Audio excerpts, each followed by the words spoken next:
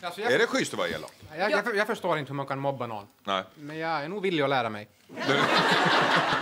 Jag tror ju att, att anledningen till att barn idag är så överviktiga är för att vi har förbjudit mobbing. Alltså det är just det. Alltså det, det är ett problem vi har idag. Nej men jag var liten, jag vägde 148 kilo, jag gick tvåa, men vad fan, det var ingenting som liksom lite grov penalism och en hel klass med hopprep piska ur med sex års tid. Kolla idag va? Tvättbrädemage på tv med Jossan, high five! I människovärlden så är det att det, flera personer samlas och liksom eh, kastar skit på en individ. Men det här finns ju alltså i djurvärlden också. Till exempel schimpanserna. De samlas också i grupp och, och slänger bajs på en individ. Och det sorgliga är att i båda fallen är den här individen Patrik Ekwall. Är det så? Min eh, före detta flickvän ordnade en så kallad roast till mig då liksom, där hon eh, tog upp allt dumt jag hade gjort när vi var ihop och alla mina kompisar var med.